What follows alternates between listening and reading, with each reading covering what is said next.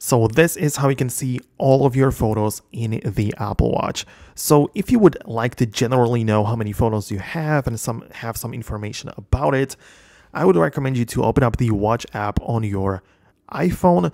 In the storage section, you can see it's not that useful. It doesn't tell you much, but when you come back to the About section within a General, that's again the main Watch app, General, then About. And in here, you can see how many photos you have on your Apple Watch, how many songs and apps, on all the stuff. You know, you can see the capacity, available storage. So you can see I have 11 photos.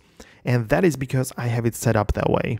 So still within the Watch app on your iPhone, scroll down on the main section and locate the Photos menu. So tap on Photos and you have some options in here. So photo syncing, I have it turned on, which automatically will add photos to your Apple Watch from your iPhone, some like chosen ones.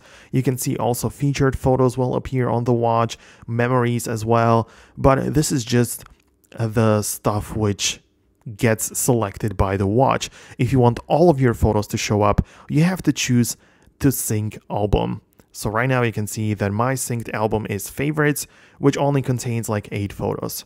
If I want all of my photos to show up, I can click on recents and that means that all of the 316 photos will appear on my Apple Watch. So you can choose the albums of the photos which you want to show up on your Apple Watch. Keep in mind that there are some limits, as you can see right below it, there is a photo limit, which I have set to 100 photos, and the maximum is 500. So you cannot really put more than this on your watch. So if you have like a thousands of photos on your iPhone, you will not have the ability to put them all on your Apple Watch.